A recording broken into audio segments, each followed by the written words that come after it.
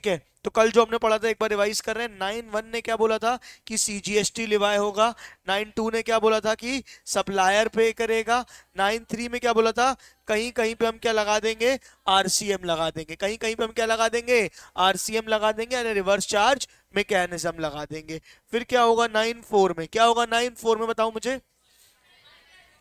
Unregistered person अगर registered person को देता है सप्लाई लेकिन वो सप्लाई जो जो होना चाहिए, किसको देना चाहिए उसको? प्रमोटर को देना चाहिए। किसको देना चाहिए? प्रमोटर ऑफ़ रियल एस्टेट यानी कि बिल्डर को देना चाहिए, किस चीज़ के लिए? सीमेंट, गिट्टी, रेत वगैरह खरीदने के लिए। उस केस में क्या आ जाएगा? आरसीएम आ जाएगा, यानी कि रजिस्टर्ड पर्सन जो है वो सप्लाई पे करेगा। पहले सबके लिए था, लेकिन बाद में सिर्फ़ उसको अमेंड करके क्या कर दिया गया था? सिर्फ़ रियल इस्टेट के लिए कर दिया गया था। बोलो हाँ या नहीं? अब हम शुरू कर रहे हैं नाइन फाइव क्या शुरू कर रहे हैं? नाइन फाइव इसको बहुत ध्यान से पढ़ने वाली बात है, मुंडी उंडी झटकेंगे सारे लोग। ध्यान से और स्ट्रेट बैठेंगे, इसको अपन डिस्कस करने वाले हैं। ध्यान से समझो बात को बेटा। सुन चंपा सुनो तारा कोई जीता कोई हारा। अरे बड़ा मज़ा आए अरे बड़ा मज़ा आए। क्या बोल रहे हो? अभी रिज़ल्ट आएगा ना? रिज़ल्ट में अपन यही बजाएँगे क्यों? ठीक है।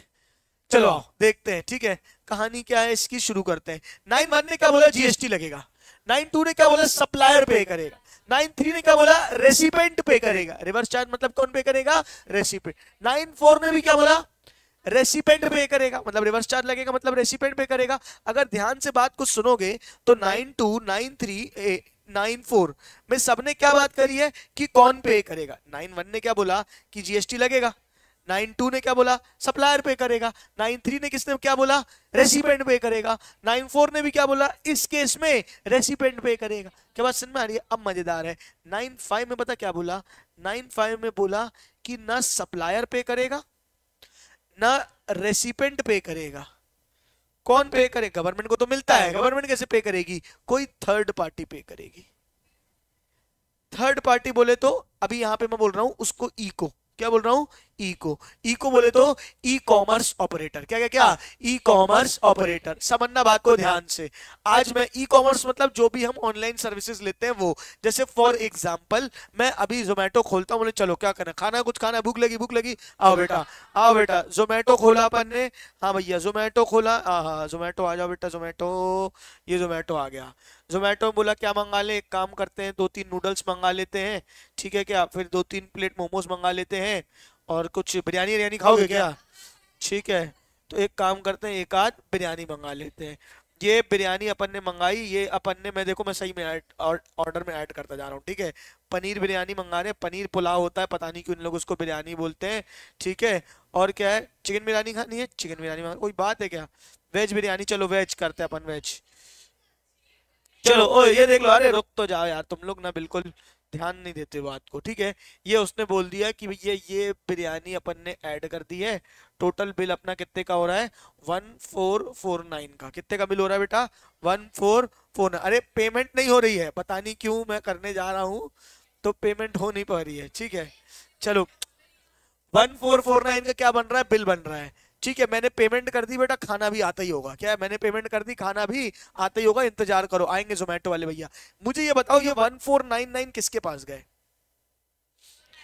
जोमेटो के पास गए कि रेस्टोरेंट के पास गए? अच्छा मुझे बताओ, इस पूरे ट्रांजेक्शन में सप्लायर कौन है? सप्लायर ऑफ़ गुड्स या सर्विसेज़ कौन है? रेस्टोरेंट रेसिपेंट ऑफ़ सर्विस कौन है? मैं हूँ भैया हमने कंज्यूमर हमने खाना मंगाया क्या बात समझ में आ रही है? तो ये क्या हो गया? सप्लायर और ये कौन हो गया? रेसिपेंट और इन बीच में कौन आ गया ये? जोमैटो तो ये जोमैटो जो है ये क्या है बेटा? इको ई कॉमर्स ऑपरेटर क्या सारे केसेस में ई कॉमर्स ऑपरेटर पे करेगा? नहीं. क्या सारे केसेस में ई कॉमर्स ऑपरेटर पे करेगा? नहीं। कुछ केसेस हैं जहाँ पे ना सप्लायर पे करता है, ना रेसिपेंट पे करता है। कौन से हैं वो कुछ केसेस वो अभी हम बैठ के एक एक करके डिस्कस करने वाले हैं कि कौन से वो केसेस हैं जहाँ पे क्या होता है सप्लायर या रेसिपेंट नहीं पे करने की जगह कौन पे करता है? ई कॉमर्स ऑपरेटर आओ इस डायग्राम को अपन एक बार समझते हैं। ठीक है क्या? ये मैंने ज़िंदगी ना आसान बनाने के लिए नया डाउनलोड किया है। देखते हैं कितना आसान है नहीं हाँ? क्यों डिफ़िकल्ट हो रही है? अरे नहीं नहीं नहीं करेंगे तुम टेंशन नहीं लो चलो ठीक है ठीक है इसको इनने क्या बोला? सन्ना ध्यान से एक एक करके डिस्कस करेंगे एच एम टी आर क्या बोला क्या बोला क्या बोला? एच एम टी आर ये चार केसेस में क्या क्या ये चार केसेस में अभी अपन पढ़ेंगे चार केसेस क्या है ये चार सर्विसेस में एक है सप्लायर एक है रेसिपेंट और एक है इको इन चार केसेस को हमको डिटेल में पढ़ना है जहाँ पे सप्लायर ने रेसिपेंट को सर्विस दी लेकिन बीच में गेम किसका आ गया है? इको का। क्या यही चार सर्विस इको के थ्रू हो सकती है? नहीं। और भी सर्विसेज़ हैं इनके अलावा जो ई कॉमर्स ऑपरेटर के द्वारा दी जा सकती है उन सारे केसेस में अगर सप्लायर है रेसिपेंट है और बीच में कौन है? इको है. Other than H M T R other than H M T R तो उसमें इको पे नहीं करेगा उसमें एक कॉन्सेप्ट आता है टीसीएस का. किसका कॉन्सेप्ट आता है? टीसीएस का टैक्स कलेक्टेड एट सोर्स इसको अपन लेटर डिस्कस करेंगे अगर आपके सिलेबस में है तो क्या बात समझ में आ रही है? इसको अभी अपन डिस्कस नहीं करेंगे. बोलने का मतलब क्या है? अभी ये चार सर्विसेज़ क्या क्या क्या? चार सर्विसेज़ अगर किसने दी है? सप्लायर ने रेसिपेंट को दी है। किसके थ्रू दी है? ई कॉमर्स ऑपरेटर के थ्रू दी है। किसके थ्रू दी है? ई कॉमर्स ऑपरेटर के थ्रू दी है। तो हम समझेंगे कि जीएसटी का गेम कैसा होता है। हाँ या ना फटाफट बोलो। तो एच से शुरू होता है सबसे पहले कौन आता है बेटा? एच से आता है होटल। एच से क्या आता है? होटल। होटल मतलब रेस्टोरेंट नहीं होटल। मतलब मैंने होटल बुक किया रहने के लिए। मैंने होटल क्या किया? बुक किया रहने के लिए। एग्ज़ाम्पल के लिए क्या ले लेते हैं बेटा अपन? ओयो ठीक है अपन ने क्या बुक किया बेटा? ओयो बुक किया। अरे अरे ये मीटर सा भी नहीं रहा है यार। चलो आओ देखते हैं। ठीक है ये कौन है बेटा? एक है सप्लायर एक है रेसिपेंट और एक है बीच में ई कॉमर्स ऑपरेटर और अभी यहाँ पे ई कॉमर्स ऑपरेटर कौन है बेटा? ओयो है। अच्छा समझना ध्यान से। ओयो का कॉन्सेप्ट क्या है? तुमको पता है क्या? ओयो का क्या कॉन्सेप्ट है बताओ? ओयो का क्या कॉन्सेप्ट है? ओयो अपने आप के होटल्स ओन नहीं करता। वो सारे तुम्हारे सबके होटल है, सबको अपने अंदर क्या करा लेता है? रजिस्टर करा लेता है। क्या करा लेता है? रजिस्टर करा लेता है। अब जब रजिस्टर करा लेता है तो अल्टीमेटली क्या होता है कि तुम होटल बुक करते हो ओयो के थ्रू वहाँ होटल वाले के पास बुकिंग जाती है, तुम जाके वहाँ पे रह लेते हो। सप्लायर कौन है? होटल वाला। सप्लायर कौन है? होटल वाला। रेसिपेंट कौन हूँ? मैं। बीच में बुकिंग कहाँ से हुई है? ओयो से। अच्छा अब ओयो में क्या है ना? बड़े बड़े होटल भी है और छोटे छोटे होटल भी है। तुमने देखा होगा गली गली कुपचे घर घर ओयो छोटे छोटे कमरों को भी क्या बना के रखा इनने? होटल बना के रख दिया कि भैया हाँ आप जाओ, कभी भी ट्रैवल करने जाओ, किसी जो भी टूरिस्ट प्लेस होते हैं, वहाँ छोटे से घर है, वहाँ ओयो का बोर्ड लगा हुआ भैया, तुमने दो कमरों को क्या बना दिया? होटल बना दिया। अब सरकार कहाँ कहाँ तक इनको पकड़े होटल वालों को कि रजिस्ट्रेशन कराओ जीएसटी भरो? तो अब समझना ध्यान से, होटल के केस में अगर ओयो है तो उसके अंदर दो कहानी होगी। एक होगा बिग होटल क्या होगा? Big hotel. बिग होटल मतलब ये ऑलरेडी एक बड़ा होटल है जो किसी ऑनलाइन प्लेटफॉर्म से रजिस्टर है। बुकिंग डॉट कॉम हो सकता है ओयो हो सकता है वो हो सकता है। और मैंने उसको वहाँ से क्या किया है? बुक किया है। बढ़ाओ क्या इसके पास सिर्फ़ ओयो के थ्रू बुकिंग आती होगी कि अदर भी बुकिंग आती होंगी? अदर बुकिंग आती होगी वॉकिंग्स भी आते होंगे जमाना फलाना ढिमकाना सब होता होगा। अब इसके ऑलरेडी इसका टर्नओवर क्या है? बड़ा है। बड़ा होटल है। मतलब 20 लाख की लिमिट ये क्या करता है? पार करता है। 20-40 लाख की जो भी लिमिट है वो क्या करता है? पास करता है। इसको इंडिपेंडेंटली रजिस्टर लेना ही है।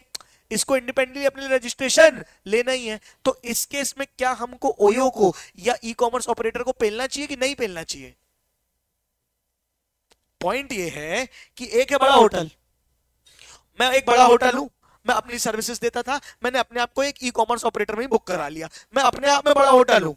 मेरी अपने आप में खुद से क्या है टर्नओवर ज़्यादा है और मेरे को खुद से जीएसटी का एक रजिस्ट्रेशन लेना ही है अपनी सर्विसेज़ के कारण, अपनी सप्लाई के कारण। क्या बात, समझ में मेरा जीएसटी का रजिस्ट्रेशन है।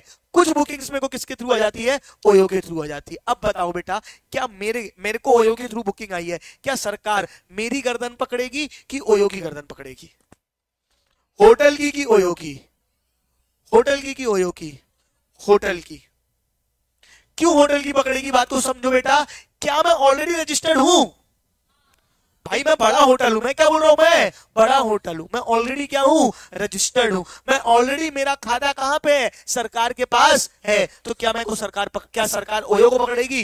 नहीं। सरकार क्या बोलेगी? ऑलरेडी तुम अपनी यार तुम अपने 25 रूम बुक कर रहे हो खुद से। पाँच रूम बुक कर रहे हो ऑनलाइन ई कॉमर्स प्लेटफॉर्म से। 25 का जीएसटी भर रहे हो वो पाँच का लेने हम ज़बरदस्ती ई कॉमर्स ऑपरेटर के पास क्यों जाए? क्यों जाए बताओ क्यों जाए? दिक्कत है ना बेटा? हम क्यों जाए? हम नहीं जाते। क्या बात समझ में आ रही है? इसकी जीएसटी कौन भरेगा? इसकी जीएसटी कौन भरेगा? होटल खुद भरेगा। अब तुम छोटे होटल हो। क्या हो? छोटे होटल। मतलब लिमिट तुम्हारी नहीं है। तुम्हारा मेन काम कहाँ से आता है? ई कॉमर्स ऑपरेटर से आता है। यानी पूरा एक छोटा घर घर ओयो है। छोटा सा कमरा है। दो तीन कमरों का तुमने होटल बना दिया है और उसको तुमने ओयो में क्या करा लिया है? रजिस्टर करा लिया है। इस केस में बताओ बेटा यहाँ पे कौन भरेगा? यहाँ पे जो है वो कौन भरेगा? जीएसटी कौन भरेगा? क्या सप्लायर भरेगा कि रेसिपेंट भरेगा कि ओयो भरेगा? ओयो भरेगा। क्या आपको कहानी समझ में आई? अगर होटल बिग है। अगर होटल क्या है बेटा? बिग है। और साथ में वो क्या करता है? खुद के लिए ऑटोमेटिकली क्या है? रजिस्टर्ड है। तो वहाँ पे केस को ई कॉमर्स ऑपरेटर को परेशान करने की ज़रूरत नहीं है। लेकिन अगर क्या है? लेकिन अगर क्या है? स्मॉल होटल है। क्या बात समझ? खुद की रजिस्ट्रेशन नहीं ली हुई है। तो फिर उसको किसको, कौन भरेगा? ई कॉमर्स ऑपरेटर भरेगा। हाँ या ना, फटाफट समझ में आओ। एच एम टी आर में पहली चीज़ क्या समझ में आ गई आपको? होटल। दूसरी चीज़ क्या है? एम हाँ।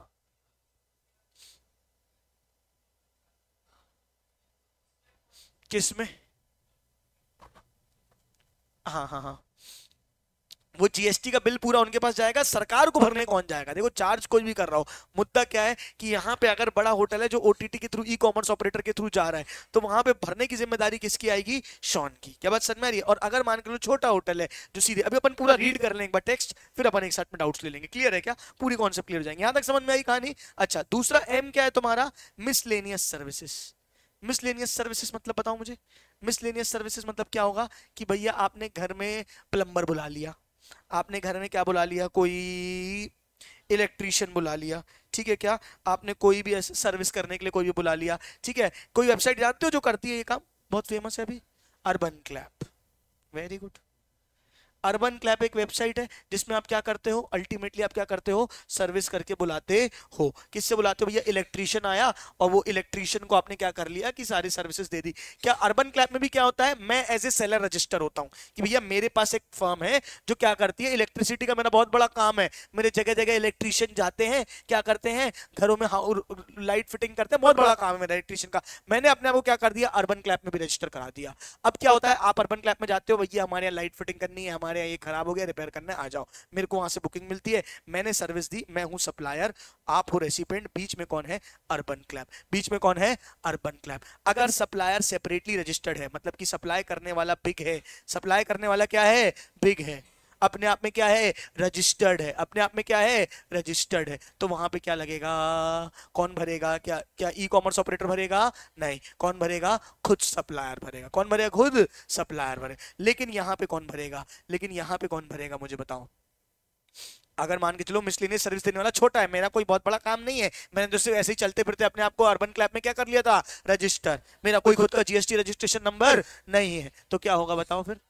कौन भरेगा? अर्बन क्लैब भरेगा। क्या बात समझ में आ रही है? एक हो गया एच यानी कि होटल। एम यानी कि हो गया मिसलेनियस यूटिलिटी सर्विस ठीक है? टी क्या आता है? ट्रांसपोर्ट टी क्या आता है? ट्रांसपोर्ट ट्रांसपोर्ट मतलब उबर ओला मैंने ओला कैब बुक करी ऑनलाइन क्या बात समझ में आ रही है? अच्छा मुझे बताओ। ओला कैब में एक सप्लायर देने वाला कौन है? ड्राइवर रेसिपेंट कौन हूँ मैं? क्या ऐसा बोल सकते हो? ड्राइवर अगर तुम बड़े हो, तुम्हारा ऑलरेडी रजिस्ट्रेशन है तो तुम भरो। क्या बड़े छोटे का केस ड्राइवर के केस में आएगा? तो यहाँ पे बड़े छोटे की कहानी ट्रांसपोर्टर में नहीं करी। ट्रांसपोर्टर में तुम बड़े हो, तुम छोटे हो, हर बार कौन भरेगा? ओला भरेगा। हर बार कौन भरेगा? ओला भरेगा। क्या आपको कहानी समझ में आ रही है? मतलब पहले हमने, पहले डाउट्स में एक साथ लूँगा आखिरी में रीडिंग कराने के बाद। क्या बात समझ में आ रही है? पहले केस में हमने क्या पढ़ा बताओ? एच एम टी आर पहले में क्या पढ़ा? होटल। होटल में हमने एग्ज़ाम्पल लिया किसका? ओयो का। या तो वो बिग है, या तो वो स्मॉल है। बिग है तो कौन भरेगा? होटल भरेगा। स्मॉल है तो कौन भरेगा? मुझे बताओ। ओयो भरेगा। यानी कि ई कॉमर्स ऑपरेटर भरेगा। यानी नाइन फाइव एक्शन में आ जाएगा। क्या बात समझ में आ रही है? मिसलिस मिसलेनियस यूटिलिटी सर्विस है। तो इसमें भी सर्विस देने वाला सप्लायर बिग है या स्मॉल है? बिग है तो कौन भरेगा? सप्लायर भरे बिग है तो कौन भरेगा? मुझे बताओ सप्लायर भरेगा। ठीक है क्या? और अगर स्मॉल है तो कौन भरेगा? अर्बन क्लैब भरेगा, यानी कि ई कॉमर्स ऑपरेटर भरेगा, यानी कि कौन एक्शन में आ जाएगा? नाइन फाइव एक्शन में आ जाएगा। ट्रांसपोर्टर के केस में नो बिग नो स्मॉल हर केस में कौन भरेगा? ओला भरेगा, यानी ई कॉमर्स ऑपरेटर भरेगा। यहाँ पे नाइन फाइव एक्शन में आ जाएगा। यहाँ तक मैंने आपको तीन कहानी बता दी। कौन कौन सी? एच एम टी कौन कौन सी? एच एम टी बोले तो? होटल मिसलेनियस और ट्रांसपोर्ट यहाँ तक सबको समझ में आया है कि नहीं आया है? फटाफट बोलो। पक्का? चलिए आगे बढ़ते हैं अपन। नेक्स्ट बात करते हैं किसकी? रेस्टोरेंट की। नेक्स्ट किसकी बात करते हैं? इतना एक बार नोट करोगे क्या कहीं पे? इतना एक बार कहीं पे नोट बना के नोट करोगे क्या? करना है? दो मिनट दे रहा हूँ जल्दी करो। सुन चंपा सुनो तारा। कोई जीता कोई हारा।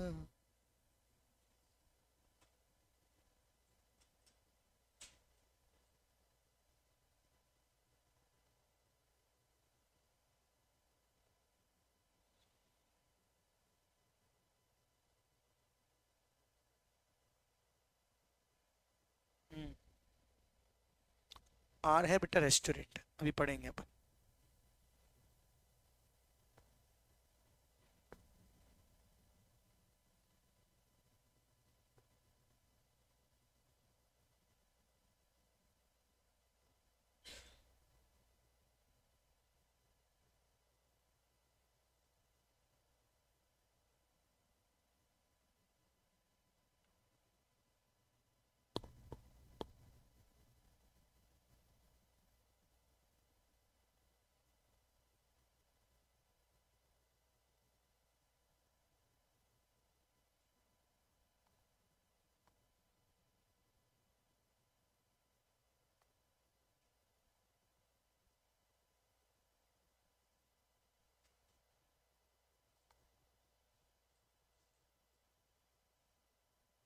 हो जाए तो बताना, मैं वेट कर रहा हूँ। तो बता तो यार, मैं इंतज़ार कर रहा हूँ तुम्हारा। हम हम तुम्हार इंतज़ार कर रहे थे कि तुम हमको बताओगे कि सर, हमार हो वो है। आगे पढ़ाओ।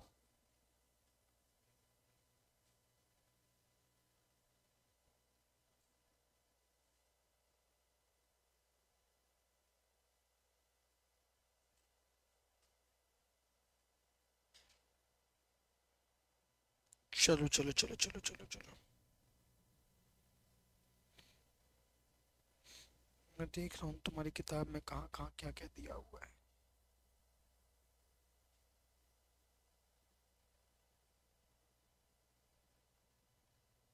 चलो चलो चलो चलो। आगे बढ़ते हैं। चलो, अब किसमें आएँगे अपन? रेस्टोरेंट में। काय में आएँगे? रेस्टोरेंट। रेस्टोरेंट के साथ ना अलग लफड़ा है। रेस्टोरेंट ने बोला, भैया, हमको ना हम हम चाहें तो जीएसटी सीधे रेस्टोरेंट वालों से लें। बीच में ओला स्विगी को परेशानी ना करें। पर हमको ना ये छोटे छोटे गली गली नुक्कड़ नुक्कड़ हर मोहल्ला मोहल्ला कैफ़े कैफ़े खुल गए कहाँ कहाँ हम पकड़ते बैठेंगे? हमको बड़ा ट्रस्ट इशू है इन पे। हम पे इनको क्या बड़ा ट्रस्ट इशू है। क्या बात समझ में आ रही है ना? हमें इनके साथ फीलिंग नहीं आ रही है। हमें लग रहा है ये धोखा दे के भागेंगे। ये लोग पैसा कमाते भी हैं तो दिखाते नहीं है पहली बात तो और दूसरी बात इन लोग पता क्या करते हैं? दूसरी बात इन लोग क्या करते हैं कि पैसा कमाते हैं और दिखाते नहीं है कि कितना कमा रहे हैं कितना नहीं कमा रहे हैं। और दूसरी चीज़ ना इन लोग जो गुड्स वुड्स खरीदते हैं ये सब इनको लगता क्या है? इनके इनपुट क्या है? मुझे बताओ।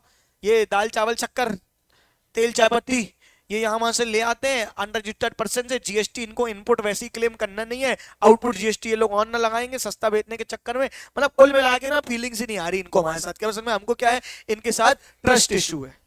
क्या बात समझ में आ रही बड़े छोटे कोई भी हो हमें लेना देना नहीं है। तो पहले ना रेस्टोरेंट को दो पार्ट में बांटा गया। रेस्टोरेंट को दो पार्ट में क्या बांटा गया? एक है स्टैंड अलोन रेस्टोरेंट एक क्या है? स्टैंड अलोन रेस्टोरेंट दूसरे क्या है? Restaurants at hotel premises restaurant at hotel premises समझते हो? मतलब जैसे शॉन है शॉन का बुफे है नीचे होटल है अलग से रेस्टोरेंट है। आप ताज में जाते हो ताज एक रेसिडेंस है और वहाँ पे साथ में क्या है उसकी होटल है। क्या में होटल है और उसके साथ में क्या है? बताओ क्या इन पे शक करना अच्छी बात है? क्या इन पे शक करना अच्छी बात है? अरे भाई जो ताज है जो क्या है शॉन है उसका खुद का अपना रजिस्ट्रेशन है सारी चीज़ें। उन पे हम बोलेंगे हम शक करेंगे ना ना ना भाई फालतू व्यवहार खराब होता है। ऐसे लोग पे अपन को क्या नहीं करना चाहिए? शक करना बेटा भगवान बचाए। क्या बात समझ में आ रही है? तो ऐसे लोगों में हमको क्या करना है? शक नहीं करना है। पहले हमको किसकी बात करनी है? Stand alone restaurant stand alone तुम बड़े हो, तुम छोटे हो, हमें लेने देने नहीं है। तुम हर बार हम किससे लेंगे? बीच में ई कॉमर्स ऑपरेटर से लेंगे। यहाँ बड़ा छोटा कोई नहीं, सबसे किससे लेंगे हम? ई कॉमर्स ऑपरेटर से लेंगे। मतलब स्विगी या जोमेटो ठीक है? स्विगी या जोमेटो जो होगा, वो लोग जीएसटी भरेंगे, हमें लेना देना नहीं है। क्या बात समझ में आ रही है? क्लियर है क्या? लेकिन होटल के अंदर अगर आपके पास है, किसी प्रमाइसिस में है, होटल है, और उसमें क्या है, बड़ा, यहाँ पे हम क्या देखेंगे? बड़ा होटल या छोटा होटल। अगर होटल का अपने आप में रजिस्ट्रेशन है तो कौन भरेगा? होटल भरेगा। और होटल का अपने आप में रजिस्ट्रेशन नहीं है तो कौन भरेगा? स्विगी भरेगा। क्या बात समझ में आ रही होटल का अपने आप में रजिस्ट्रेशन नहीं है तो कौन भरेगा? स्विगी भरेगा।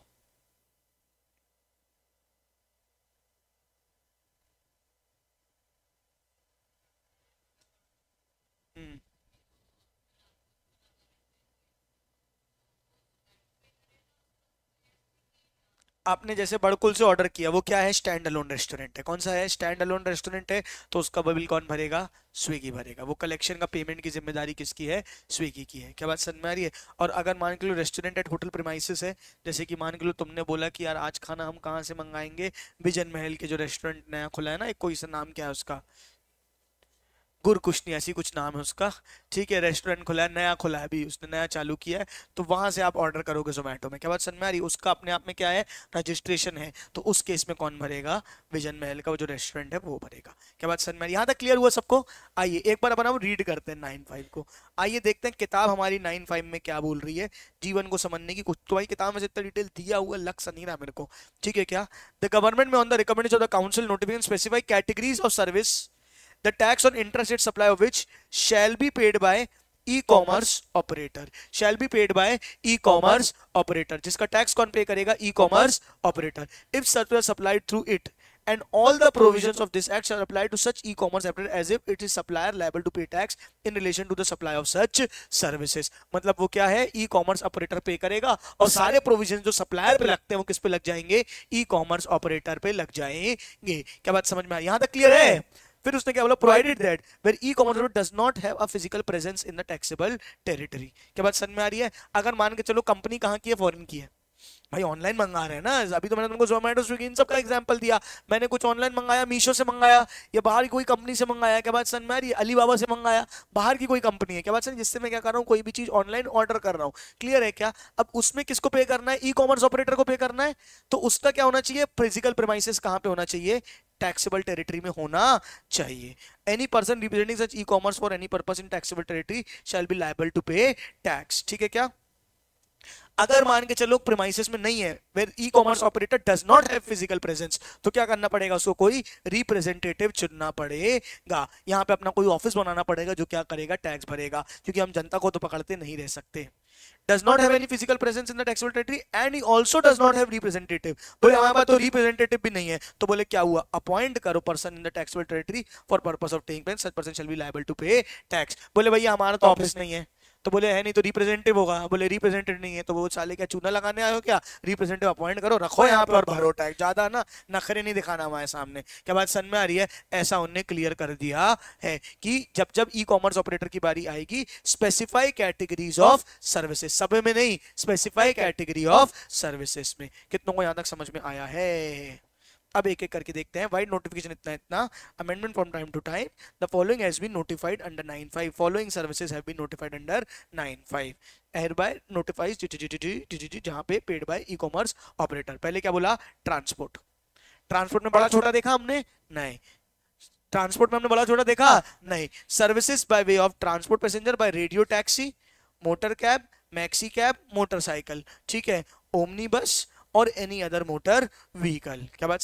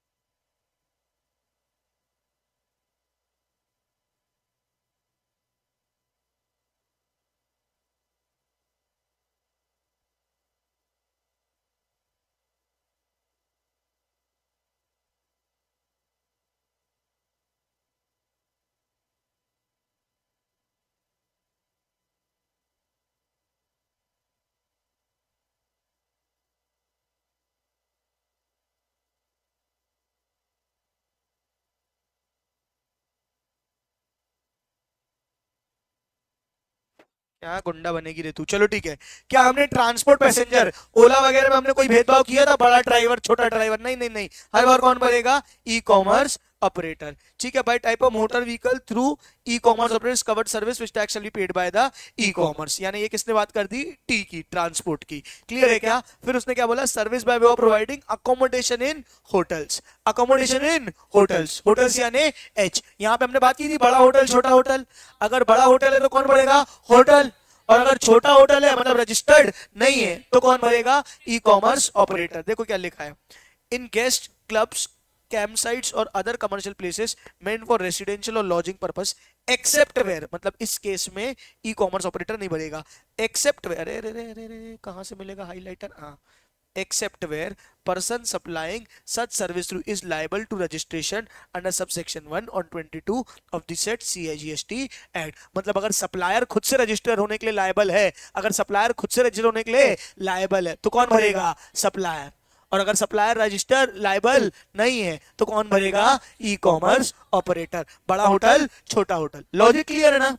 देखो, मैं ना सिर्फ़ लॉ नहीं पढ़ा रहा हूँ. तुमको लॉजिक दे रहा हूँ कि उसका क्या है, ताकि तुमको हमेशा याद रहे कि भैया ऐसा होता है, ऐसा होता है. तुम्हें एकदम रटना नहीं पड़े लो बैठ के. Service by way of housekeeping plumbing ये कौन था अपना? Urban Clap except where supplying such service through is liable for registration या यहाँ पे भी हमने क्या देखा था? बड़ा छोटा। याद है? इसमें भी हमने क्या देखा था? बड़ा छोटा। इसमें भी हमने क्या देखा था? बड़ा छोटा। चाहो तो ऐसे लिख दो। बड़ा छोटा। बड़ा अबे छोटा एस से नहीं सी से आता है। बड़ा छोटा। क्या बात समझ में आ रही है? तो जो छोटा होगा वो क्या होगा? जो छोटा होगा वो कौन मरेगा? इको और जो बड़ा होगा वो कौन मरेगा? बताओ बेटा। सप्लायर यहाँ बड़ा होगा तो कौन मरेगा? अरे बड़ा होगा तो कौन मरेगा? सप्लायर और छोटा का तो कौन मरेगा? इको और ट्रांसपोर्ट के केस में हमेशा कौन भरेगा इको यहाँ तक सबको समझ में आया।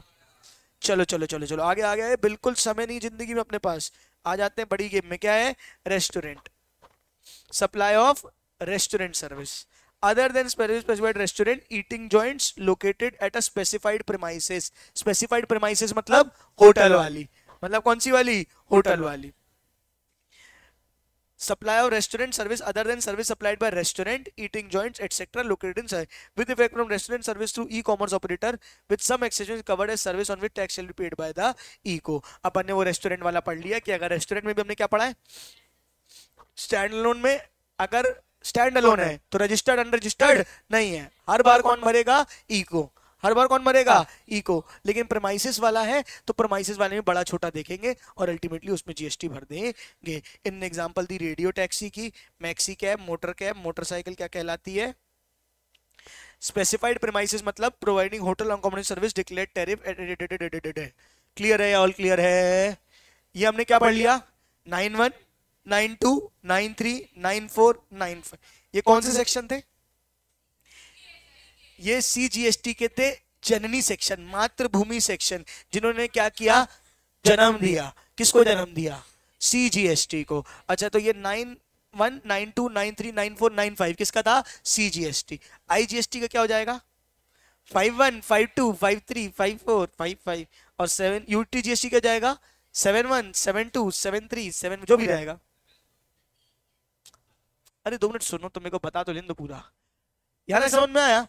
अब आईजीएसटी भैया एक बताओ सीजीएसटी एसजीएसटी एक साथ लगेगा कि अलग अलग सीजीएसटी और एसजीएसटी क्या लगेगा एक साथ आई जहाँ सीजीएसटी एसजीएसटी लगेगा वहाँ क्या लगेगा आई बाकी तो कोई फ़र्क नहीं है तो इनने जो सीजीएसटी बोल रहे ना कितने एक्ट है सीजीएसटी एसजीएसटी आईजीएसटी ये सब नाम के एक्ट है बस जब इनने पहले सीजीएसटी एक्ट बनाया अब एस जी बनाना था बोले क्या करें एक काम करते हैं जहाँ जहाँ सी जी एस टी लिखा है वहाँ वहाँ क्या लगा दो एस जी एस टी लगा दो जहाँ जहाँ आई जी एस टी लगाना है जहाँ जहाँ सी जी एस टी और एस जी एस टी लगा है वहाँ क्या लगा दो आई जी एस जहाँ जहाँ इंटर लगा है वहाँ वहाँ क्या लगा दो इंटर लगा दो ठीक है क्या थोड़े टुचू टुचू से चेंजेस किए और क्या बोल दिया है कि भैया ये अलग से क्या है आईजीएसटी देखो क्या लिखा भी ऐसे हुआ है the provision under five section five और IGST act are similar to section 9 of CGST except the word CGST has been substituted by IGST under IGST act called integrated tax will divide on all intrastate को क्या बदल दिया गया है? Interstate intrastate को क्या बदल दिया गया है? इंटरस्टेट मैक्सिमम रेट वहाँ कितना था? याद करो याद करो बताया था कल मैक्सिमम रेट यहाँ कितना था? दुनिया एक्चुअल रेट कितना प्रैक्टिकल रेट कितना था? बीस. बीस बीस चालीस. और वैसे कितना था? चौदह चौदह अट्ठाईस। ये था प्रैक्टिकल रेट ये था एक्चुअल रेट अच्छा बीस बीस यहाँ कितना हो जाएगा मैक्सिमम रेट चालीस। यहाँ कितना हो जाएगा? चालीस। और अगर वो बोलूँ तो कितना हो जाएगा? Twenty eight. समझ गए क्या? बस यही कहानी थी बाकी खत्म है कहानी। समझ गए? The word CGST has been substituted by UTGST UTGST it's called UT इंटी मैक्सिमम रेट यहाँ भी कितना है? 20 परसेंट। बाकी पूरी कहानियाँ क्या है? सेम है। क्या बात समझ में आ रही है?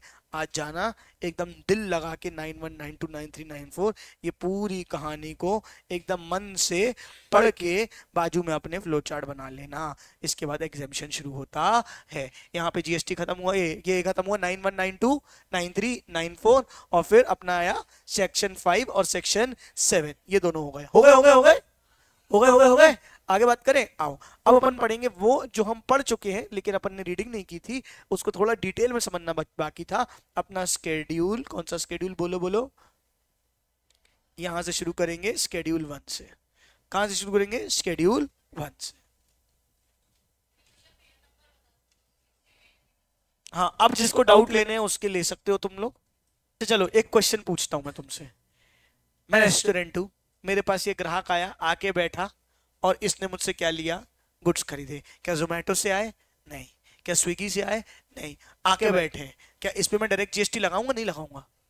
लगाऊँगा क्योंकि ये जोमेटो स्विगी से नहीं आया। और जोमेटो स्विगी से आया है तो उस पर जीएसटी कौन लगाएगा? जोमेटो मतलब लगेगा मेरे से ही। पैसा तो मेरे से ही जाएगा ना। अल्टीमेटली बस ये क्या है? भरने की लाइबिलिटी किसकी है? ई कॉमर्स ऑपरेटर की अगर ऑर्डर कहाँ से हुआ है? रेस्टोरेंट और जोमेटो और स्विगी से। अगर वहाँ से नहीं हुआ है डायरेक्ट मेरे पास आके तुम लोगों ने कल रेस्टोरेंट का बिल दिखाया था ना पाँच परसेंट जीएसटी लगा हुआ था। क्या बात समझ में क्यों लगा हुआ था? तुम गए थे डायरेक्ट माल खरीद के आए थे क्या बात रही है? उसमें तुमको जीएसटी लगा हुआ था। क्या आपको बात समझ में आ रही है? हाँ या ना बोलो? पूरी कहानी ऐसी है। क्लियर है क्या? चले एक सेकंड में कुछ करने आ जाओ बेटा आ जाओ। आ जाओ गुस्सा नहीं गुस्सा नहीं आओ। हमने ये पढ़ा था इससे कहानी हम बार बार घूम फिर के इसमें आएँगे कॉन्सेप्ट को पकड़ने के लिए। क्लियर है क्या? हमने यहाँ सप्लाई की स्टेज टू देखो, आओ। सप्लाई की स्टेज टू मैंने कल ही आपको बताया था, यहाँ पे क्या है? डब्बा वन क्या है? फॉर कंसिडरेशन डब्बा टू भी क्या है? फॉर कंसिडरेशन डब्बा थ्री भी क्या है? फॉर कंसिडरेशन डब्बा फोर क्या है? विदाउट कंसिडरेशन अगर आपको याद हो तो मैंने बोला था यहाँ पे चार पाँच बातें, दो लिखी है, बाकी बाद में पढ़ाऊँगा। बोलो हाँ या नहीं? तो बेटा, जिसका तुम्हें था इंतज़ार, वो घड़ी आ गई आ गई आ गई। आज इसकी बाकी की चीज़ें हम पढ़ेंगे और डिटेल में पढ़ेंगे। क्या बात समझ में आ रही है? पहले ये इसने क्या बताया था? एबीसी टेस्ट याद है? फिर इसने क्या बोला था? इंपोर्ट ऑफ़ सर्विसेज़ याद रखना बे यार डिस्कस करेंगे डिटेल में। इंपोर्ट ऑफ़ सर्विस और वो भी क्या होनी चाहिए विद कंसिडरेशन बिज़नेस पर्पस या पर्सनल पर्पस क्लियर है क्या? और यहाँ बोला था क्लब मेंबर्स क्लब का मेंबर और उसने अगर क्लब ने मेंबर को सर्विस दी है तो उसको भी क्या मान लेंगे? उसको भी मतलब सप्लाई मान लेंगे, उसको भी क्या मान लेंगे? सप्लाई मान। अब वो समय जहाँ पे कंसिडरेशन नहीं है जहाँ पैसा नहीं है। हमने तुमको गुड्स दिया बदले में कुछ नहीं लिया कोई कंसिडरेशन नहीं हुआ। तो वहाँ पे तुम अपना व्यवहार निभा रहे हो। सरकार अपना व्यवहार निभाएगी कि नहीं निभाएगी वो हमको आइए देखना है। वहीं पे हम समझ रहे हैं schedule one activities to be treated as supply even if made without consideration यानी डीम्ड सप्लाईज यानी डीम्ड सप्लाई डीम्ड सप्लाई मतलब सरकार ने मान लिया। तुम बोल रहे सप्लाई है ही नहीं। सरकार ने बोला, हमने मान लिया तो मान लिया, तुमको जो करना करते रहो। तो वो क्या मान ली गई है? Deemed supply. हाँ या ना, फटाफट बोलो। क्लियर है? हाँ। अरे, बोलो। चलो। नेक्स्ट क्या है? परमानेंट आ जाओ। एक एक करके अपन एक एक करके बड़ा ध्यान से पढ़ेंगे, बहुत मज़ेदार चीज़ें पढ़ेंगे, ध्यान से सुनना, ठीक है क्या? ये चीज़ें हैं। सबसे पहले बिज़नेस असेट्स की बात करते हैं। थोड़ा इसको डिटेल में पढ़ाने का मन सा कर रहा है। देखता हूँ कितनी डिटेल में जाने का मन करता है मेरा। आइए। देखो ध्यान से। मैंने क्या खरीदा? एसी खरीदा। क्या खरीदा? एसी सुन लो ध्यान से ये आगे काम आएगा बहुत बार ठीक है क्या? ना standard life of asset GST में कितनी मान ली गई है? पाँच साल समझ के चलो। ये आगे अपन पढ़ेंगे पर अभी मैं तुमको बस बता रहा हूँ कि ऑन एन एवरेज ये माना जाता है कि ये जो असेट है कितने साल का है? पाँच साल का। क्लियर है क्या? अब सुनना ध्यान से। होता क्या है कि मैं ये एसी खरीद के आया। पहले तो मुझे ये मैं पहले अभी बेसिक जीएसटी का कॉन्सेप्ट बता रहा हूँ ठीक है? मैं ये एसी खरीद के आया। ठीक है कैलकुलेटर लेके बैठेंगे। कैलकुलेटर अगर हो आपके पास तो चालीस हज़ार का एसी खरीदा। चालीस हज़ार का? एसी खरीदा। उसमें अठारह परसेंट क्या दिया? जीएसटी उसमें अठारह परसेंट क्या दिया? वैसे अट्ठाईस परसेंट दिया जीएसटी चलो अट्ठाईस परसेंट जीएसटी दिया। कितना होगा बताओ फटाक से। ग्यारह हज़ार दो सौ। ये मैं क्या खरीद के आया हूँ? एसी ये ग्यारह हज़ार दो सौ का मैं क्या खरीद के आया हूँ? एसी यानी मैं ग्यारह हज़ार दो सौ का जीएसटी यानी मैं ग्यारह हज़ार दो सौ का जीएसटी भर के आया हूँ। क्या बात समझ में आ रही है? ग्यारह हज़ार दो सौ का जीएसटी में क्या करके आया हूँ? भर के आया ये मेरे लिए क्या कहलाएगा? आईटीसी जानते हो? ये क्या कहलाएगा मेरे को? आईटीसी बोले तो इनपुट टैक्स क्रेडिट बेटा आदर्श ध्यान दे दे क्या सावधानी हटी।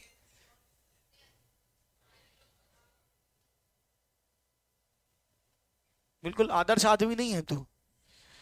ठीक है। सारे लोग यहाँ देखो, सावधानी हटी, दुर्घटना घटी प्लीज़ ध्यान से देंगे। ग्यारह हज़ार दो सौ का, मेरे को फिर से बोला, भैया, फिर से बता दो, मैंने पेल देना है। ठीक है? है ना? ग्यारह हज़ार दो सौ का आईटीसी में क्या करके आया हूँ? मतलब सरकार को पे करके मतलब सरकार को नहीं, अपने सप्लायर को पे करके आया हूँ। जब कुछ भी गुड्स बेचूँगा तो मुझे इसका आईटीसी अवेल करना पड़ेगा। मैंने एसी खरीदा है। अब मैं गुड्स बेचता हूँ। मान के चलो, मेरी किराना दुकान है। क्या दुकान है बेटा? किराना और मैं यहाँ पे गुड्स बेच रहा हूँ। मैंने मान के चलो इस साल कितने की सेल कर ली? दो लाख की। कितने की सेल कर ली? दो लाख की। दो लाख के सामान में अठारह परसेंट का जीएसटी क्या कर लिया? कलेक्ट कर लिया। दो साल में, दो लाख में अठारह परसेंट का जीएसटी क्या कर लिया? कलेक्ट कर लिया। कितना कलेक्ट किया बताओ? थर्टी सिक्स थाउज़ेंड ये मैंने जनता से कलेक्ट किया है। ये मेरा क्या है? आउटपुट जीएसटी और ये मेरा क्या है? इनपुट जीएसटी ये क्या मुझे नेट करने मिलेगा कि नहीं मिलेगा पहले तो ये बताओ। ध्यान से सुनना मैंने एसी खरीदा था। मैंने क्या खरीदा था? एसी और बेचे क्या है? गुड्स किराना का सामान बेचा है। क्या बात समझ में आ रही है? दो लाख रुपए का मैंने आप सबको किराना का सामान बेचा अठारह परसेंट जीएसटी कलेक्ट किया छत्तीस हज़ार रुपए। क्लियर है क्या? और अठारह परसेंट अट्ठाईस परसेंट जीएसटी यानी कितना हो गया? ग्यारह हज़ार दो सौ। क्या हो गया? ग्यारह हज़ार दो सौ। इतना मुझे नेट सेट ऑफ़ करने मिलेगा कि नहीं मिलेगा बताओ मुझे पहली बात तो। नहीं मिलेगा कि मिलेगा? आउटपुट से इनपुट सेट ऑफ़ होता है। हाँ। क्या कभी मैंने तुमको ये बोला कि रॉ मटेरियल का आईटीसी मिलता है? क्या मैंने कभी तुमको ये बताया कि ये गुड्स खरीद के आए, ये गुड्स बेचे? इसी में आईटीसी मिलेगा, ज़रूरी है क्या? नहीं। तुम एक बार कोचिंग सर्विस इंडस्ट्री इमेजिन करो भाई, मैं सर्विस दे रहा हूँ, मैं कोचिंग चला रहा हूँ, मैंने जीएसटी किस किसमें पे किया होगा? ये जो कैमरा खरीदा इसमें जीएसटी पे किया होगा? ये जो कंप्यूटर खरीदा इसमें जीएसटी पे किया होगा? ये एसी खरीदा इसमें जीएसटी पे किया होगा? ये सब मेरे पास आईटीसी आया, बोलो हाँ। अब मैं आउटपुट क्या? कहाँ से आउटपुट क्या ये सब भेज के आउटपुट आएगा क्या मेरे पास? नहीं, मैंने आप सबसे फ़ीस कलेक्ट करी। आप सबसे जीएसटी कलेक्ट किया? मेरे हाथ में क्या है? जीएसटी अब मैं क्या तुम क्या बोल रहे हो? अरे, ये तो आउटपुट अलग है और ये इनपुट अलग यूज़ है। तुमने इसी को बेचा है। इसका आईटीसी कैसे यूज़ करना मार दूँगा सरकार को, मैं क्या करूँ?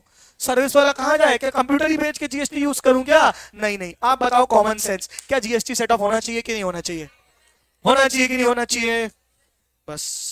मोदी जी ने बोल दिया होना चाहिए तो होना चाहिए। छत्तीस हज़ार में से ग्यारह सौ दो सौ क्या कर दिया? एडजस्ट कर दिया। नेट पे कितना पन्ना रहा चौबीस हज़ार आठ सौ। ओ हो हो हो।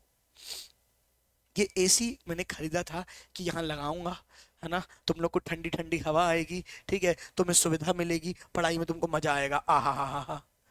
पाँच साल के लिए ऐसा जीएसटी में मान रहे थे कि पाँच साल ये एसी अपना क्या करेगा? चलेगा। क्लियर है क्या? तीन साल। बाद तीन साल बाद अगर मैं बेच देता अगर मैं क्या करता?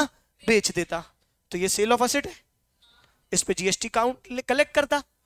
आउटपुट आता। इनपुट से इनपुट तो सेट ऑफ़ हो चुका है। इनपुट तो सेट ऑफ़ हो चुका है। कोई और इनपुट रखा है तो यूज़ करता है नहीं तो इस आउटपुट को क्या कर देता? पे कर देता। सीधा सीधा काम है। बोलो हाँ। पक्का समझ में आ रहा है? ये एसी निकाल के भेज देता। Sale of asset in course और फर्दरेंस ऑफ़ बिज़नेस जीएसटी लगाता। और क्या करता? बेच देता। साधारण सी बात, कोई दिक्कत? नहीं। अब कहानी समझो। मैंने क्या किया? रीसेल हुई तो ज़रूर तो रीसेल में मना किया है क्या? कहीं। कहीं बोला है क्या? फ़र्स्ट टाइम सेल में लगेगा। एबीसी टेस्ट है। एक्टिविटी है। सेल ठीक है। फिर क्या है? Course of furtherance of business और साथ में क्या है? कंसिडरेशन सप्लाई बन गई। जीएसटी लगेगा। अगर मैंने इसको बेचा तो। अब क्या हुआ? मैंने बोला, एक काम करता हूँ। मेरा एक दोस्त है। उसका एक छोटा सा घर है। उसके घर में एसी नहीं था। तो मैंने उसको बोला एक काम कर ये ले एसी ले जा। जा जा भाई जा। ऐश कर एसी ले जा। बोलता पैसे कैसे? मैं पागल है रुलाएगा क्या? भाई से पैसे भाई को पैसे देगा तू? है इतना बड़ा हो गया भाई को पैसे देगा? नहीं कोई पैसे ऐसे नहीं। जा ऐश कर। विदाउट कंसिडरेशन मैंने अपना एसी क्या कर दिया? दे दिया। अब बताओ सरकार ने बोला, साले, तुम एसी लेके आए। हमने तुमको इनपुट क्यों दिया? हमने तुमको आईटीसी क्यों दिया? जितना तुम जीएसटी पे करके आए थे, उतना जीएसटी हमने तुमको सेट ऑफ़ करने दिया ना तुम्हारी आउटपुट टैक्स लाइबिलिटी से। क्यों सेट ऑफ़ करने दिया, बताओ मेरे को। क्योंकि तुम उसको अपने बिज़नेस में यूज़ कर रहे हो। उससे तुम आउटपुट सर्विस ले रहे हो। और आउटपुट सर्विस से तुमको उससे क्या मिल रहा है? जीएसटी तभी तुमको हम सेट ऑफ़ करने दे रहे हैं। तुमने साले उसको पूरा यूज़ नहीं किया? और तुमने क्या कर दिया? किसी और को गिफ्ट कर दिया। अब तुमने उसको किसी और को गिफ्ट कर दिया और बदले में क्या लिए? पैसे भी नहीं लिए। ये तो तुमने पागल बना दिया हमको। हमसे आईटीसी ले लिया। हमसे आईटीसी ले लिया। अगर तुम उसको बेचते अगर तुम उसको बेचते तो हमको उसमें आउटपुट टैक्स मिलता। सरकार ऐसा बोल रही है। अब तुमने उसको विदाउट कंसिडरेशन दे दिया। ज़्यादा भाई बंदी दिखाई। तुम निभाओ निभार हमें व्यवहार नहीं निभाना है। हम तो जीएसटी इसमें कलेक्ट करेंगे। क्या बात समझ में आई है, हम तो इसको क्या मानेंगे? सप्लाई मानेंगे। अगर मैं अपने बिज़नेस का कोई असिट दे देता हूँ, अगर मैं अपने बिज़नेस का कोई असिट दे देता हूँ, वो भी कैसे दे देता हूँ? विदाउट कंसिडरेशन तो भी क्या मन लग जाता है उसमें? जीएसटी लग जाता डीम्ड सप्लाई मान लिया जाता है। क्यों भैया? क्योंकि तुम उसमें आईटी एक मिनट रुकना भी कहानी खत्म नहीं हुई है। क्योंकि उसमें क्या कर चुके हो तुम?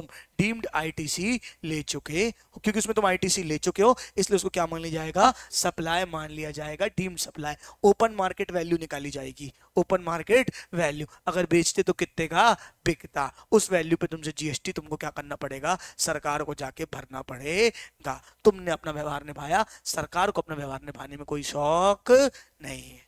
सीधी है लॉजिक भी है। नहीं तो लोग क्या करेंगे? बिज़नेस के लिए खरीदेंगे आईटीसी लेंगे और फिर यहाँ वहाँ बोलेंगे, हमने गिफ्ट कर दिया जे कर दिया, वो कर दिया ऐसे ऐसे करते रहेंगे, अपनी बैलेंस शीट में दिखाएँगे ही नहीं, फालतू लोचा करते रहेंगे। ये तो तरीका है, कोई तो तुम गलत कर रहे हो इस्तेमाल। लोग तुम तो मतलब लूप होल का फ़ायदा उठा रहे हो। सरकार ने बोला लूप होल का होल कर देंगे हम। तुमने अगर किसी को फ्री में भी दिया तो हम क्या करेंगे? डीन सप्लाई बनाएँगे और डीन सप्लाई में क्या ले लेंगे? जीएसटी ले लेंगे। कोई डाउट है? हाँ अभी अभी अभी ये अभी अपन प्रैक्टिकलिटीज में बात अलग आते हैं। अभी इसके बाद में प्रैक्टिकलिटीज कैसे होती है ये सब तुम्हें क्या लगता है ये सब चोचले नहीं होते रियल में होते हैं लोग करते हैं ऐसा। लेकिन लॉ में ये लिखा हुआ है कि अगर तुम अब देखो समझो होता कैसे है प्रैक्टिकली छोटे मोटे में नहीं देती सरकार। अब मान के चलो बड़ा बिज़नेस है रिलायंस है या कोई बड़ी कंपनी है। उसने जब कोई एक बड़ी मशीन खरीदी होगी उसने अपने बैलेंस शीट में क्या दिखाया होगा? असेट दिखाया होगा? अकाउंट बनाए होंगे? ऑडिट कराया होगा उसने अकाउंट्स में दिखाया होगा कि भैया हमारे पास चालीस लाख की मशीनरी आई है जिसकी आईटीसी हमने लिया है। अब अचानक से तुमने वो बैलेंस शीट से क्या कर दी? हटा दी। बोले क्या हुआ? अगर सेल होती तो कैश आता अकाउंट में? कैश आता, दिख जाता कैश नहीं आया ऑडिट हुआ, बोले भैया कैश आया मशीनरी कहाँ गई? बोले, वो तो गिफ्ट कर दी गिफ्ट कर दी, बेटा आईटीसी तो लगेगा। जीएसटी तो तुम्हारी डीम सप्लाई हो जाएगी। जीएसटी तुमको भरना पड़ेगा। पूरा ऐसे ऐसे बंदी हुई है कहानी। Accounts GST tax income tax ये तीनों कहानी आपस में क्या है? बंदी हुई है। तुम खुद सोचो ना, अगर मैंने ये एसी खरीदा है तो क्या मेरे बैलेंस शीट में दिख रहा होगा? बिल्कुल दिख रहा होगा। अब मैं इसको बैलेंस शीट से हटा दूँ तो या तो बेचा होगा।